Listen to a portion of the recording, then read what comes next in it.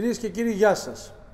Νέα τηλεοπτική σεζόν, νέα επεισόδια, εκπομπή Κοινωνία και Πολιτισμός που τόσο πολύ αγαπήσατε τα τελευταία 7 χρόνια.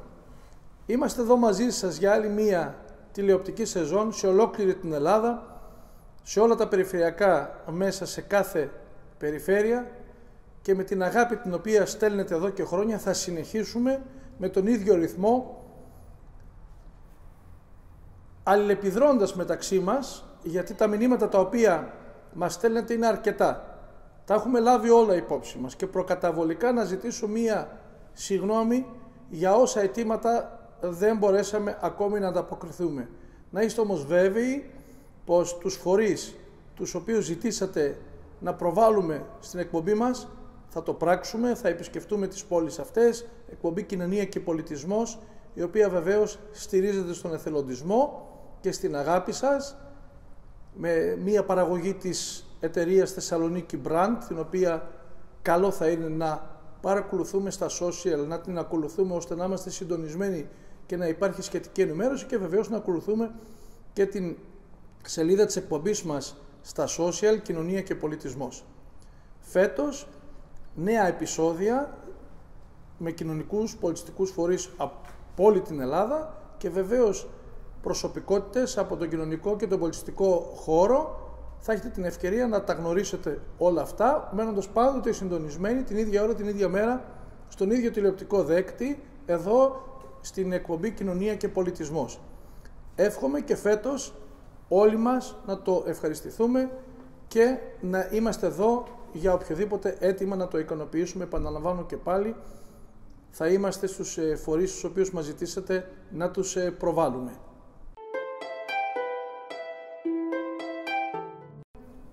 Και πάμε λοιπόν στο πρώτο μας επεισόδιο με την ανασκόπηση.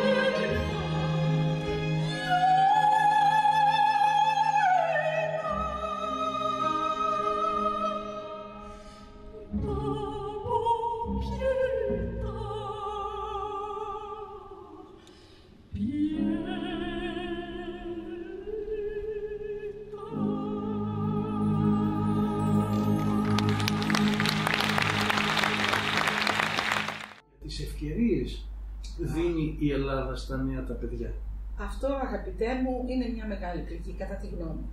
Θα σας πω μόνο προσωπικά θα μιλήσω. Εάν εγώ δεν είχα πάρει την υποτροφία Μαρία Γκάλα στο πρώτο βραβείο των υποτροφιών και δεν είχα φύγει, που νομίζω ότι αυτό ήταν ένα σχέδιο του σύμπαντος, του Θεού, πώς να το ονομάσω, ε, δεν ξέρω τι θα έκανα στη ζωή μου. Δεν, νομίζω ότι θα ήμουν, αν και είμαι αγωνίστρια και εγώ πιστεύω ότι σίγουρα κάτι θα κατάφερνα, ε, η ευκαιρία μου δόθηκε έξω, όχι μέσα ποτέ δεν μου δόθηκε μέσα καμία ευκαιρία. Ναι, αλλά σε αυτό χρησιμοποιήσατε και το ποτιακό σας πείσμα, αν μου επιτρέπετε. Ναι. Γιατί ε, έχω την πληροφόρηση πως όταν είπατε ότι εγώ θα πάω εκεί και θα πετύχω, έτσι, το, ναι. το πιστέψατε. Θα σας πω, η ποντιακή μου καταγωγή με καθόρισε στο εξής. Αυτή η συγκίνηση που νιώθω κάθε φορά για την καταγωγή μου συγγνώμη το λέω και συγκινούμε, είναι, ξέρετε, είναι αυτό που δεν έχει πίσω δρόμος. Είναι αυτό ότι θα μπεις, θα τα καταφέρεις ό,τι και να γίνει και επίσης είναι αυτό το αρχαίγωνο, γιατί ο καθένας από εμάς το κύτταρό του έχει τους προγόνους του. Χιλιάδες χρόνια πίσω. Οπότε εγώ δεν τραγουδούσα για μένα μόνο. Τραγουδούσα για το λαό μου. Τραγουδούσα για την πατρίδα μου. Και στην πλάτη μου, όσο και κοντούλα να είμαι, κουβάλαγα την Ελλάδα. Και δεν σας κρύβω ότι όταν με καλούσαν στην όπερα, και το λέω πολύ συχνά γιατί αυτή είναι μια εικόνα που έχω πάντα, το καμαρίνι της πρωταγωνίστριας είναι κάπου και για να πας στη σκηνή συνήθως διανύεις ένα διάδρομο και είναι η πιο μοναχική στιγμή που έχεις. Είσαι εσύ και κανένας άλλος και, και παρακαλάς να πάνε όλα καλά, να βγουν όλα σωστά. Και τότε, πάντα όμως, σκέφτομαι από πού ξεκίνησα και πού πάω. Και τότε λες και υψώνω, λες και γίνομαι τεράστια, λες και, και μπαίνω στη σκηνή και δεν μιλάω, αλλά λέω μέσα μου, κάντε χώρο να περάσει η Ελλάδα. Και ξαφνικά, επειδή ενεργειακά αυτό ίσως δρά, περνάει αυτό και γίνεται ένας χώρος για μένα. Και αν τα κατάφερα, σας ορκίζομαι ότι το έκανα μέσα από αυτή την καταγωγή. Και νιώθω μεγάλη περηφάνεια για την καταγωγή μου, από πού προέρχομαι, για τους αγώνες που κάνανε οι πρόγονοί μου, η οικογένειά μου, που αξιώθηκα σαν μητέρα να γαλοχήσω και το παιδί μου έτσι. Και αυτή την περηφάνεια την κουβαλάω και θα την κουβαλάω πάντα μέσα. Ειλικρινά σας λέω, υποκλίνομαι σε αυτά που είπατε και θα το κόψω εδώ γιατί και εγώ θα συγκινηθώ. Καλή είναι η συγκίνηση, Αλλά αγαπητέ μου. Πραγματικά είναι πολύ σπουδαία κουβέντα να λέτε ότι κουβαλούσατε και κουβαλάτε στις πλάτες σας στην Ελλάδα. Ναι, Έτσι, αυτό έκανα. Η Ελλάδα χρειάζεται ανθρώπους σαν ναι. εσάς.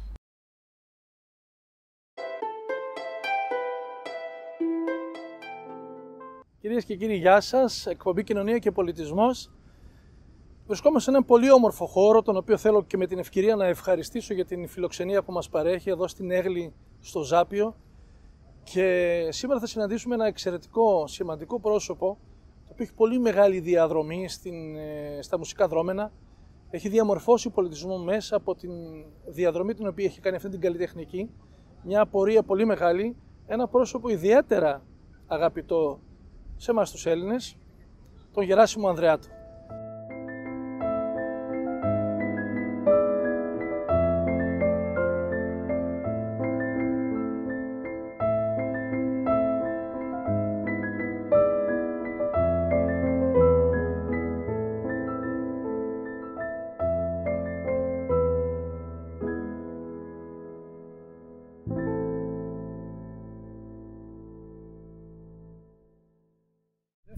Να στείλουμε ένα μήνυμα στα παιδιά που απλά ψάχνουν και μία άλλη δουλειά, ναι. αλλά βεβαίως δεν εγκαταλείπουν, στα παιδιά που σκέφτονται ότι κακώς επέλεξαν αυτή τη σχολή και θα πρέπει να αλλάξουν επάγγελμα. Θα πεις στον εαυτό μου ότι θα το παλέψεις μέχρι τέλους και αν θα σταματήσεις, θα είναι όταν πεις ότι εξάντλησα όλα τα περιθώρια.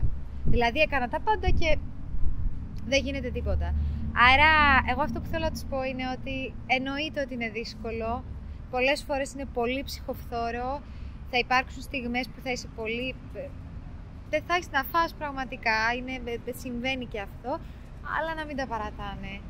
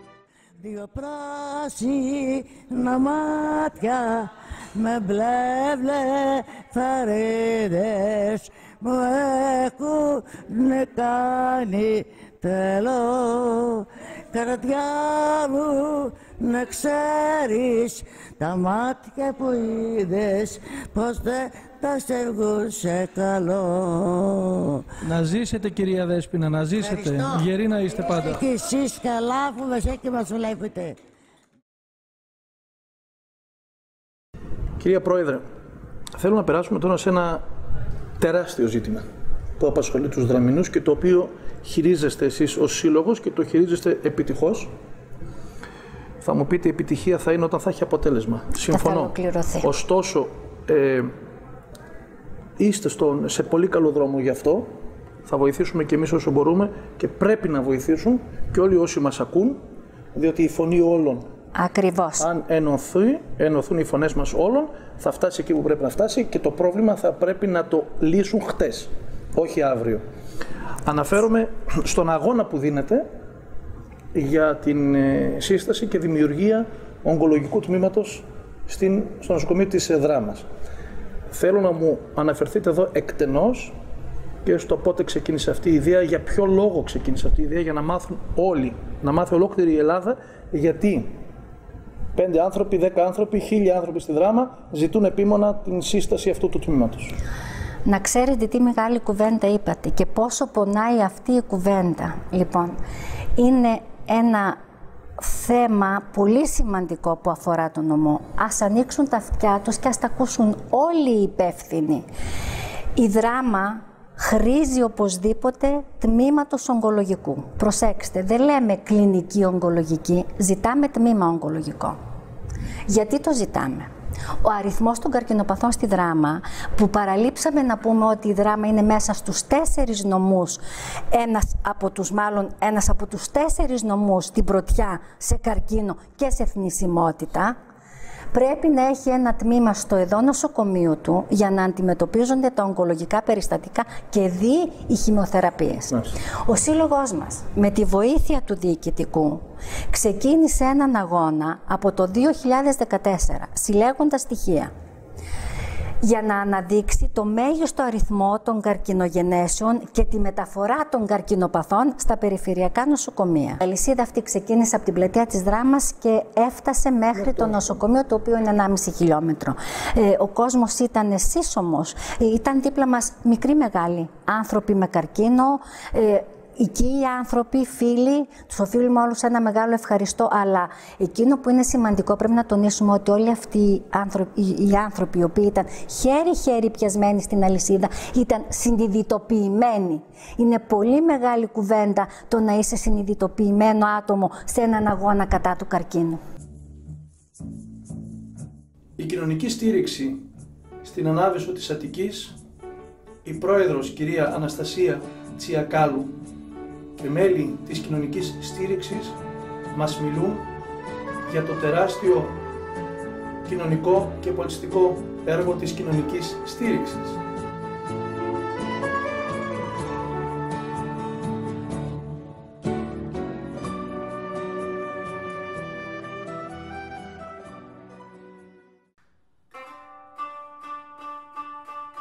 Η ψυχή του πολυδύναμου κέντρου, πατέρας Θεόδωρος, αλλά και εθελοντές μας μιλούν για το πλούσιο έργο και τις πολλές δράσεις του Προκόπιου Πολυδύναμου Εκκλησιαστικού Κέντρου της Ιεράς Μητροπόλεως Καλαμαριάς στη Θεσσαλονίκη, Κοινωνία και Πολιτισμός, η εκπομπή που βρίσκεται πάντα στο πλευρό των κοινωνικών και πολιτιστικών φορέων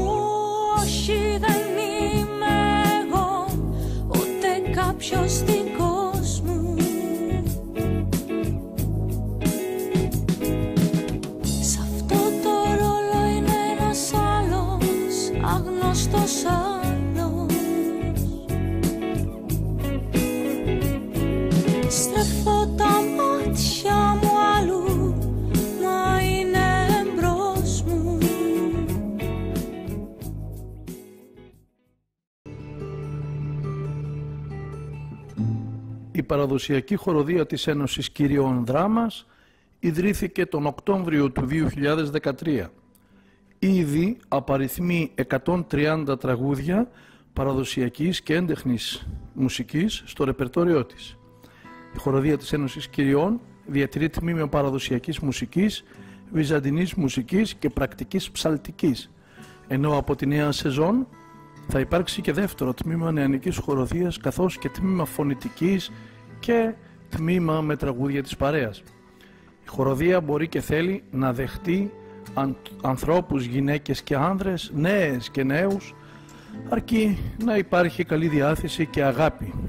Είναι πολλές οι εμφανίσεις της χοροδίας σε διάφορα μέρη της Ελλάδας και του εξωτερικού, όπως σε κάποια από αυτά έψαλε, ενώ σε κάποια άλλα τραγούδισε, όπως Κωνσταντινούπολη, Πρίγκιπος, Χάλκι, στο Πανεπιστήμιο του Μπλαγκόεβρατ, στην Βουλγαρία, σε Ορθόδοξη Εκκλησία του Βελιγραδίου, καθώς και στο Βασιλικό Παλάτι της Σερβίας, παρουσία του πρίγκιπα Αλεξάνδρου και της πριγκίπισσας Εκατερίνης, στο Δήμο Περιστερίου, στους αμπελοκήπους της Θεσσαλονίκης, στα Καλά Δέντρα Σερών, στην Ιερά Μονή Αγίου Μινά Περιχώρας, στην Ιερά Μονή Ιωάννου του Προδρόμου στο Παγκαίο, στον Μαυρόβατο, στον Ιερό Μητροπολιτικό Ναό της Δράμας, στον Ιερό Ναό Ευαγγελισμού της Θεοτόκου της Δράμας και σε πολλές άλλες περιοχές, ιερούς ναούς και μοναστήρια, ενώ έχει πολλές ακόμη προσκλήσεις για εμφανίσεις από τη νέα σεζόν.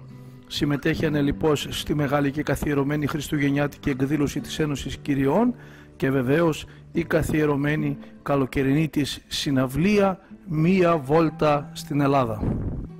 Κυρίες και κύριοι, καλησπέρα σας. Σας καλωσορίζω για τέταρτη συνεχή χρονιά στη συναυλία μας «Μια βόλτα στην Ελλάδα», μία από τις πολλές πολιτιστικές δράσεις που υλοποιεί η Ένωση Κυριών Δράμας. Όπως και κάθε χρόνο, έτσι και φέτος, πιστή στο ραντεβού μας, η μεικτή παραδοσιακή χοροδία της Ένωσης βρίσκεται εδώ για να σας διασκεδάσει, αλλά κυρίως να σας ταξιδέψει μέσα από μουσικές μελωδίες. Φέτος, με άρωμα Ελλάδας, θα κάνουμε ένα ταξίδι σε όλα τα γεωγραφικά διαμερίσματα της χώρας μας.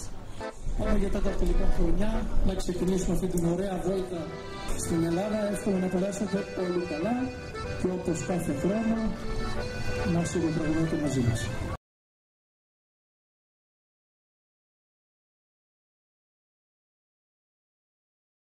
Είστε η, το υπόδειγμα, το παράδειγμα της περίπτωσης ότι στον πολιτισμό τελικά δεν πρέπει να τσιγκουνευόμαστε ή να είμαστε φιδωλοί. Μπορούμε από τόσο άλλα πράγματα να κάνουμε περικοπές, αλλά όχι από τον πολιτισμό. Όχι, και το έχει καταλάβει ο Κώστας αυτό. Όσο πω, βγαίνει στο καταλάβει ένα άνθρωπος έξυπνος, ο οποίος έχει την κουλτούρα αυτή και έχει καταλάβει ότι χωρίς πολιτισμό η Αθήνα και η χώρα δεν μπορεί να προχωρήσει. Αυτό το ξέρω, το έζησα, το, το βλέπω καθημερινά.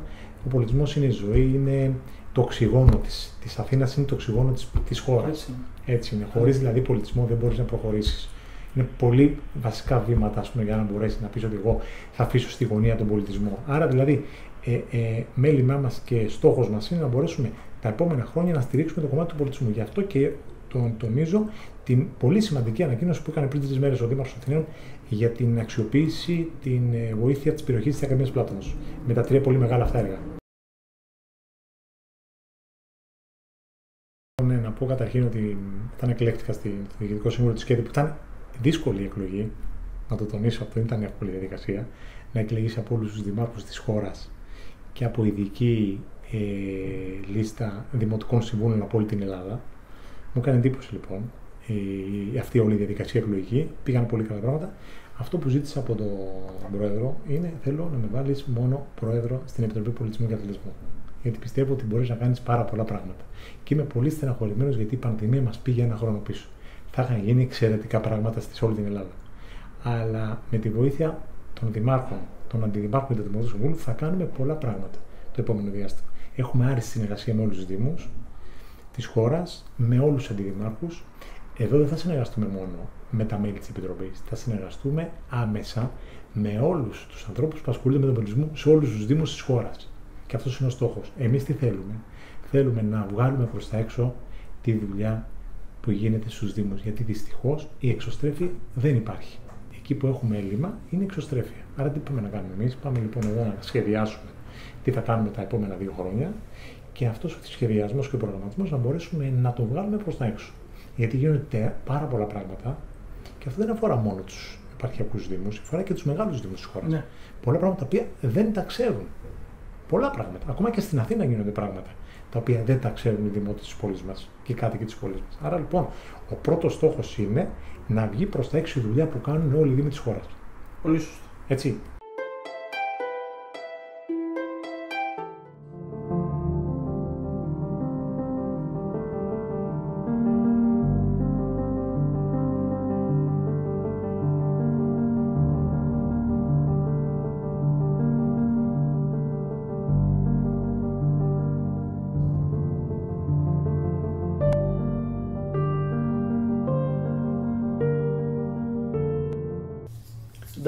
Denken sei gefühlvoll, dein Fühlen sei bedächtig.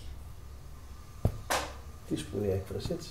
Να σκέφτεσαι συγκινησιακά και να αισθάνεσαι στοχαστικά. Και το σημαντικότερο μήνυμα που θα έπρεπε να περάσουμε σήμερα στον κόσμο που μας ακούει, ποιο θα ήταν; Είναι ότι να ασχοληθείτε με την πολιτική.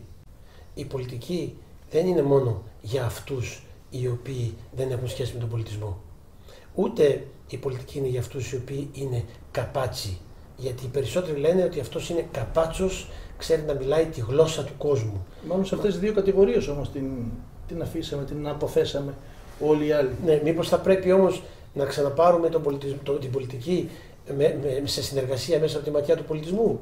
Μήπως θα πρέπει έννοιες όπως πατρίδα, ε, έθνος, ιστορία να μην τις αφήνουμε στους ακραίους. Για παράδειγμα, η λέξη πατρίδα. Η λέξη πατρίδα δεν είναι κάτι το αρνητικό που οι περισσότεροι ε, έχουν και λένε η πατρίδα ναι, ναι, και ανάβουν κόκκινα πανιά. Πατρίδα δεν σημαίνει υποχρεωτικά ένας ξερός εθνικισμός να διώξουμε το διαφορετικό και να είμαστε της ίδιας φυλής και να διώξουμε αυτούς οι οποίοι έχουν διαφορετικό χρώματα, δέρματο και ούτω καθεξής. Πατρίδα είναι μία δέσμη ιδεών. Είναι μία, αν θέλετε, δέσμη πολιτισμού. Μπορούμε σε αυτή τη δέσμη ιδεών να, να εντάξουμε και το διαφορετικό, αλλά πατρίδα θα είναι. Να έχει κάποια κοινή βάση. Δηλαδή να, αγαπά, να αγαπάει κάποια στοιχεία βασικά που μα κληροδότησε η φύση. Την οικογένεια, την αγάπη προς τον πλησίον, την μετατροπή του ανθρώπου από αγρίμη σε πολιτισμένο άνθρωπο. Και επίσης σε υπεύθυνο πολίτη. Κυρίες και κύριοι, καλησπέρα. Εκπομπή Κοινωνία και Πολιτισμός. Βρισκόμαστε σήμερα στην Αλιστράτη Σερών θα έχετε την ευκαιρία να ξαναγηθείτε μαζί μας στο υπέροχο σπήλαιο της Αλιστράτης, ένα πανάρχιο σπήλαιο, εκπληκτικό θα σας ενθουσιάσει και βεβαίως ο διευθυντής του σπηλαίου Αλιστράτης θα έχει την καλοσύνη να μας δείξει τι μπορούμε να κάνουμε άλλο όταν έρθουμε να επισκεφτούμε αυτό το σπήλαιο.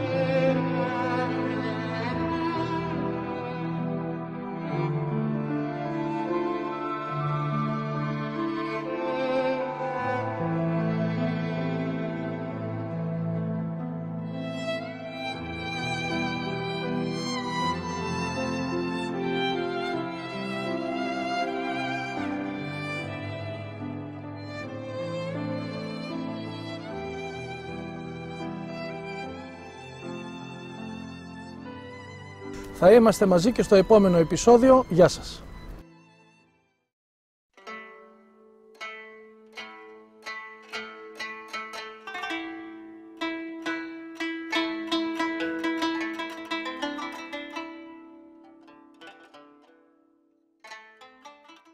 θεώρησαν σωστό να μου δωρήσουν παρακαλώ το ράσο και το φύκιο, το καλπάκι του μπαμπά.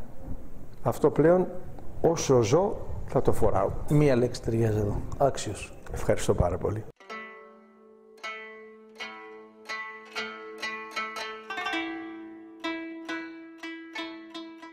Κυρίες και κύριοι, γεια σας. Χρόνια πολλά, καλή χρονιά.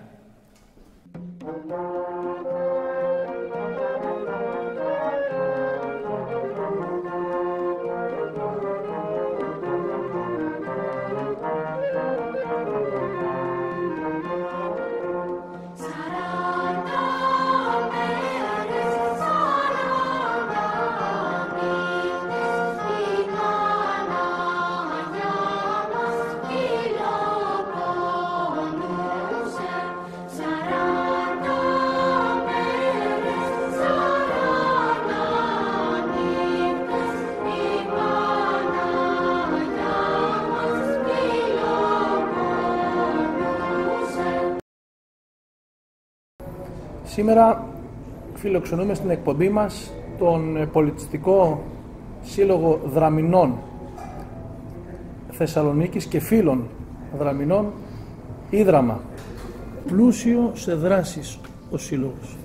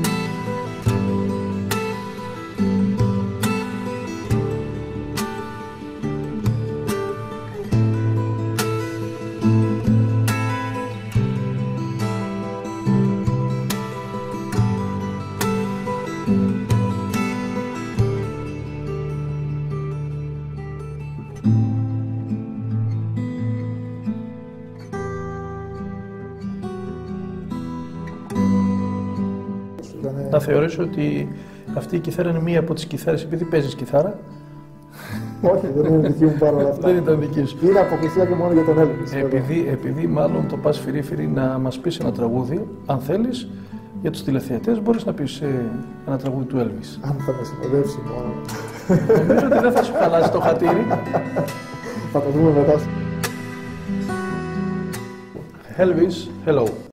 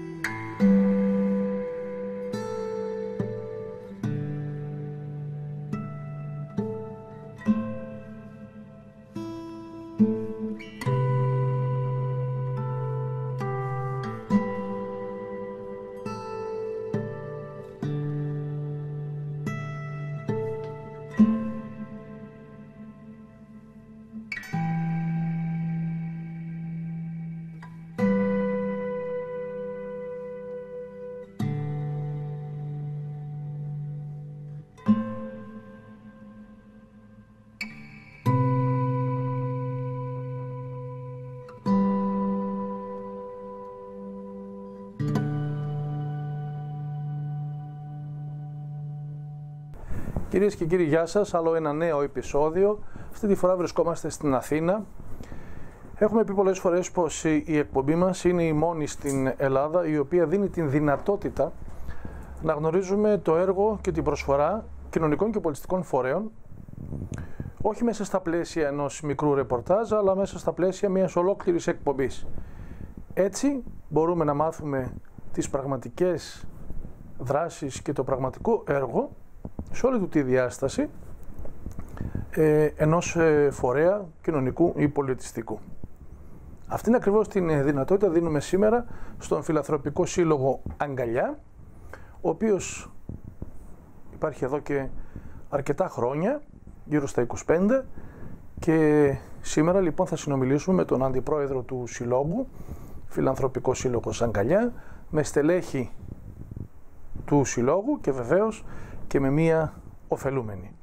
Πάμε λοιπόν σιγά σιγά να γνωρίσουμε όλο αυτό το έργο το οποίο συντελείται και πραγματικά είναι πλούσιο και πραγματικά είναι πάρα πολύ μεγάλο και νομίζω ότι αξίζει τον κόπο να παρακολουθήσουμε και να ακούσουμε όλα αυτά που έχουν να μας πούν οι άνθρωποι του Φιλανθρωπικού Συλλόγου Αγκαλιά. Στόχος της αγκαλιάς πάντα είναι η πρόληψη και γι' αυτό βοηθάμε στην πρώιμη ανείχνευση δυσκολιών τόσο στο λόγο όσο και ε, για μεγαλύτερα παιδιά σε μαθησιακές ε, δυσκολίες.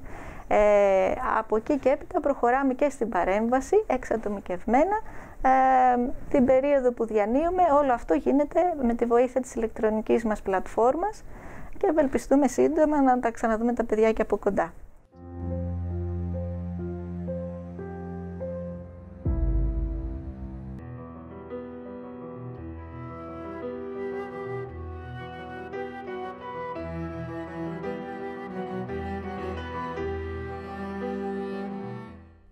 Να μας επιστρέψουν τις περιουσίες μας που παίξανε στο ζάρι στην κυριολεξία αυτοί, που υπέγραψαν σε διεθνή συνθήκη αυτοί και που δεν μας έδωσαν ποτέ αυτοί.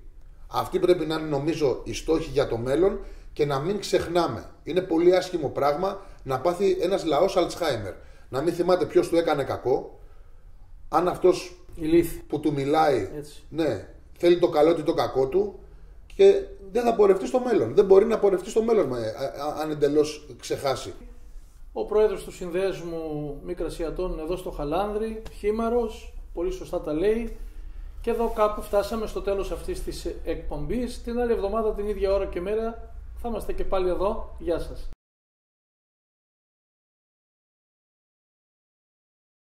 Για τα παιδιά τα σημερινά αυτό δεν του είναι εκεί, με μια ραπτομηχανή, ένα τηλέφωνο, μια παλιά γραφομηχανή.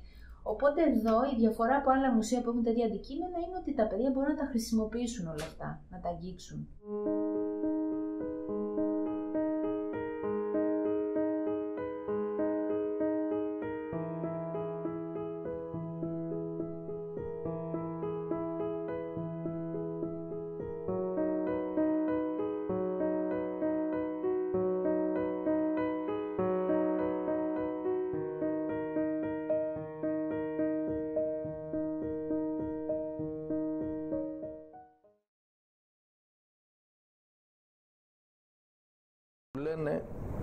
Ότι στον καιρό της κρίσης θα πρέπει να κάνουμε και οικονομία στον πολιτισμό. Εγώ είμαι αντίθετος σε αυτό.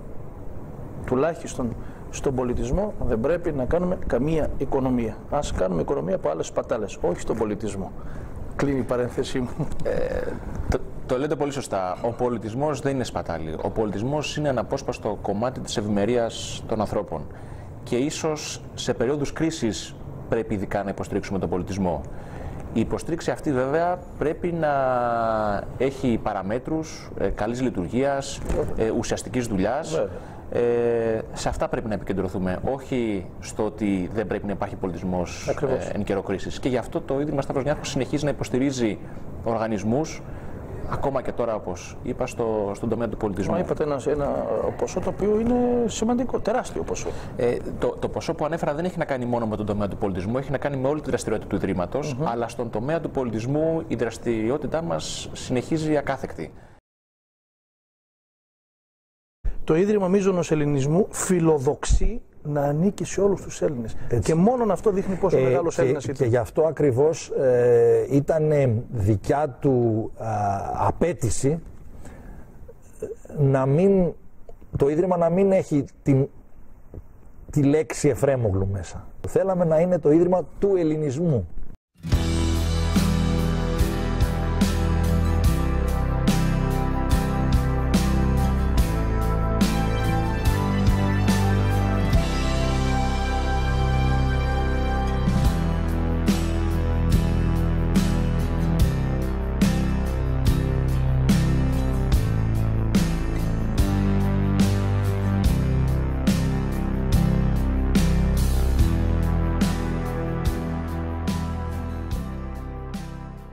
Γι' αυτό ζητάμε από το κράτος να φτιάξει ένα σχέδιο νόμου για τα υποειδή.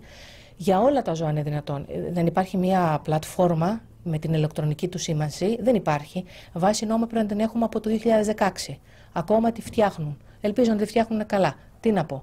Ε, για, αν, αν όλα αυτά γίνουν, δεν λύνεις 100% το πρόβλημα, αλλά σίγουρα τα βοηθάς πολύ. Σίγουρα. Κάπου εδώ λοιπόν τελείωσε το πρώτο επεισόδιο της ανασκόπησης. Θα είμαστε μαζί σας και την άλλη εβδομάδα την ίδια ώρα, την ίδια μέρα, στον ίδιο τηλεοπτικό δέκτη. Γεια σας.